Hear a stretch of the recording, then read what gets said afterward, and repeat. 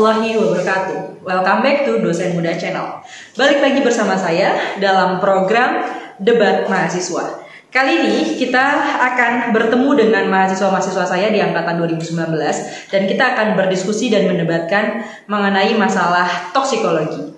Tema pertama yang akan kita bahas adalah tentang toksikologi bisphenol A. Bisphenol adalah salah satu senyawa yang digunakan untuk uh, sebagai pelarut dalam air atau bahkan untuk penjernih suatu botol minuman. Ya gitu ya. Biasanya dibagai digunakan untuk melapisi botol-botol minuman agar terlihat jernih dan putih. Dan kali ini kita akan ada dua tim. Tim yang pro di mana tim pro akan setuju bahwa bisphenol, bisphenol itu bisa digunakan dan aman untuk digunakan dan ada tim kontra yang tidak setuju bahwa bisphenol itu aman untuk digunakan. Dan mari kita bersama-sama kita ketemu dengan tim lawan. Oke, teman-teman semuanya, sebelum kita mulai proses debat kali ini, saya akan membacakan terlebih dahulu sistematika debat pada hari ini. Yang pertama, bahwa debat pada kali ini kita akan terdiri dari tiga segmen. Segmen pertama adalah segmentasi untuk opening statement. Segmen kedua adalah segmen untuk bertanya jawab, baik antara tim pro dan tim kontra. Segmen ketiga adalah segmen penutup. Masing-masing akan diberi waktu selama kurang lebih 15 menit dalam proses debat ini dan mohon untuk setiap tim tidak memotong pernyataan atau pertanyaan dari lawan. Gunakan bahasa Indonesia yang baik dan juga uh, penonton semua ataupun uh, rekan-rekan di YouTube semua ini menjadi dewan juri dalam proses penilaian perdebatan ini. Jadi semua punya hak untuk ikutan uh, menjadi dewan juri pada proses debat kali ini. Dan kita akan mulai untuk perkenalan terhadap masing-masing tim. Di sebelah kanan saya sudah ada tim pro. Silakan mungkin tim pro untuk memperkenalkan diri terlebih dahulu. Assalamualaikum warahmatullahi wabarakatuh. Halo guys, perkenalkan kami dari tim pro yang akan mendukung bahwa BPA itu adalah aman untuk dikonsumsi. Kami beranggotakan saya sendiri, Siti Maria, dan rekan saya, Navita Sari, kemudian Rosi Daliana, kami akan menyampaikan pendapat bahwa BPA itu aman untuk dikonsumsi. Tim Pro, semangat, semangat, semangat. Oke, terima kasih tim Pro. Dan yang kedua, di sebelah kiri saya sudah ada tim yang kontra terhadap BPA uh, eh, free. Silakan mungkin tim uh, kontra untuk memperkenalkan. Assalamualaikum teman-teman, perkenalkan kami dari tim kontra uh, terhadap BPA yang sering kita pakai pada barang plastik dengan saya sendiri Febri, eh, dengan teman saya Rizka, dan teman saya Desti. Eh, kami siap untuk melawan tim pro. Siap, siap, siap. oke, terima kasih tim kontra. Ya, oke semua teman-teman, mari kita mulai untuk proses debat pada kali ini. Kita akan masuk ke dalam segmen yang pertama, segmen opening statement. Silakan teman-teman untuk memberikan opening statementnya. Kita mulai dari tim kontra terlebih dahulu untuk menyampaikan argumentasi. Silakan tim kontra. Waktu dan tempat dipersilakan. Saya Febri sebagai uh, perwakilan dari tim kontra menyampaikan bahwa BPA tidak aman untuk pakai sehari-hari secara berulang karena di dalam BPA mengandung aseton dan fenol yang bila dipakai berulang atau pada saat panas tertentu dapat larut dalam makanan atau minuman yang sedang yang dikandung dalam wadah tersebut dan itu akan berakibat buruk terhadap kesehatan manusia. Oke, baik sudah.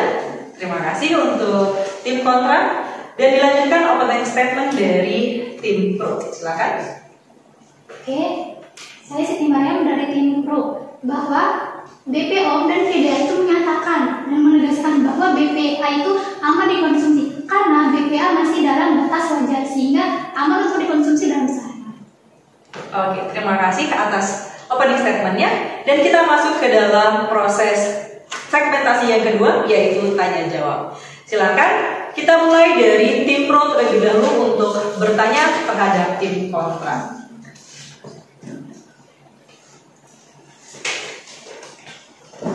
Izin bertanya untuk tim kontra. Eh, yang pertama, lembaga apa yang menyatakan bahwa BPA tidak aman sehingga menjadi dalih kuat untuk membantah pernyataan BPOM tersebut? Terima kasih.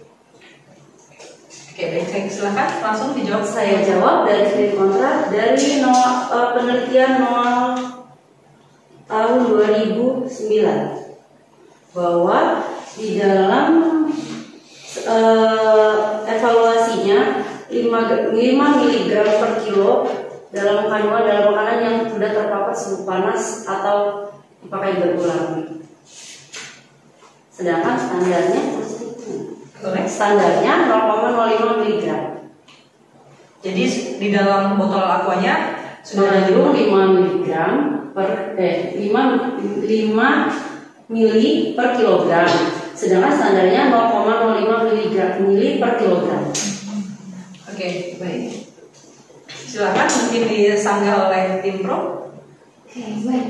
Jadi BPOM itu sudah melakukan penelitian bahwa penelitian itu menyatakan eh, BPA yang terdapat di produk plastik itu masih dalam batas wajar yaitu masih di bawah 0,6 BPJ yaitu 600 mikro mikrogram seperti itu. Oke. Karena sedangkan BPOM itu kan eh, begini, Badan Kesehatan yang ada di Indonesia itu kan kayak istilahnya udah tertinggi yang berkaitan dengan produksi gitu kan. Nah BPOM itu sendiri sudah menyatakan bahwa BPA itu aman. Sedangkan eh, yang saudari berikan itu adalah hasil dari peneliti seperti itu. Bertanya, itu pengawasan dari BPOM sendiri bagaimana untuk tahu bahwa tidak terjadi pemuaian BPA terhadap mak- masuk ke dalam makanan itu karena eh, kandungan kimia sendiri yang berada di BPA botol plastik itu bila dia terpapar panas atau berulang dia pasti memuai dan terserap ke dalam makanan. Standarnya apa? Oke. Jadi kalau ini risetnya tadi kalau boleh tahu dari mana Bu? Yang mana? Riset yang tadi Ibu baca. Dari yang 0, 5 gram. Iya, 5 gram. Dari Noah, Itu dari uh, negara apa? jurnal Noah. Negara apa kalau boleh tahu? Karena BPOM ini lembaga untuk di eh, Indonesia sendiri ya.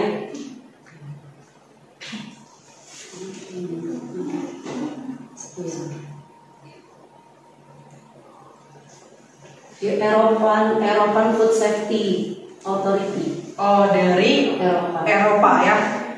Oke, tadi ini BPOM, kalau ini adalah Eropa Food Security. Gimana tim Pro?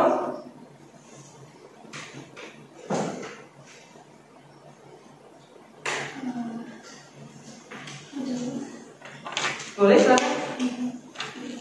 Gimana? Eh, jadi begini, berdasarkan literatur yang saya baca itu Mungkin suaranya jadi besar ya. Oke, berdasarkan literatur yang saya baca, itu kan eh, dikeluarkan oleh urin seperti itu. Jadi intinya kandungan BPA dalam produksi plastik. Mungkin itu- bisa dibesarkan lagi suaranya. Oke, jadi intinya kandungan BPA dalam produksi plastik itu masih masih paparannya kecil seperti itu, sehingga masih aman untuk dikonsumsi atau digunakan. Dan ini BPA dikeluarkan dari urin. Iya, berdasarkan literatur yang saya baca. Oke, bisa dikeluarkan melalui urin. Iya itu pun juga saya baca itu jelas standar yang ter- yang lalu itu 0,05 mg per kilo.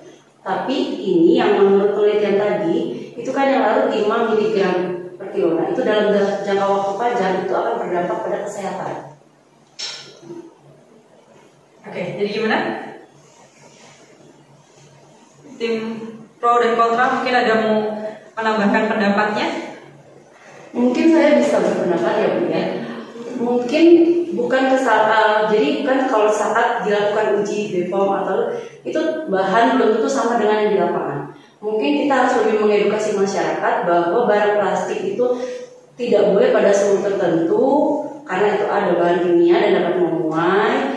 Terus ada standar pemakaian. Eh, semuanya hanya boleh dua tiga kali pakai, tidak boleh berulang dalam jangka waktu lama karena akan membuat eh, ada di dalam bahan plastik itu larut dan terserap oleh tubuh. Nah itu akan menimbulkan bahaya dalam jangka waktu panjang. Itu sih menurut saya. Bagaimana dengan kayak tumbler-tumbler itu? Harusnya pada tumbler-tumbler itu ada jangka waktu pakainya sih menurut saya. Ada jangka waktu Iya. pakainya. Kalau dari yang literatur yang ibu baca, Di sini diterangkan bahwa itu terjadi pada yang pakai berulang dan pada suhu panas, tapi tidak tidak ada penegasan bahwa sekian bulan atau sekian lamanya pemakaian. Oke. Ya, bagaimana? Ya, tim pro, bagaimana ada statement lagi? Mengakui kekalahan?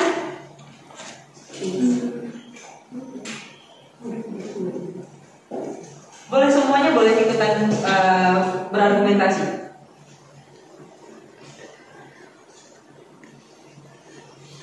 Nampaknya kalau kita lihat ya rekan-rekan semuanya, sementara ini tim kontra masih unggul ya.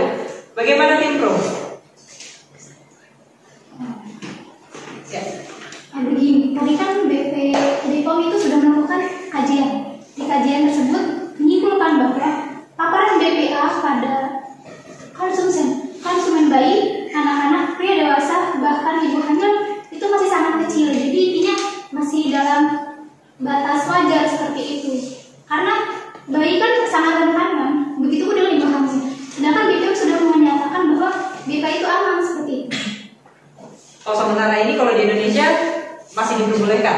Iya, seperti itu. BPA masih diperbolehkan artinya eh, kayak botol-botol yang kita pakai untuk minum ini kalau misalkan terkena panas dan kita minum itu masih aman. Masih aman bu karena masih kecil gitu paparannya. Jadi Paparan BPA-nya masih kecil. Ya. Kalau yang Mbak bilang soal ibu hamil anak itu benar aman. Kenapa? Pada susu bayi itu tidak ada pemanasan, itu susu bubuk dan susu cair pun itu pasti di dalam chiller pendingin, gitu kan? Kemasan itu tidak tidak.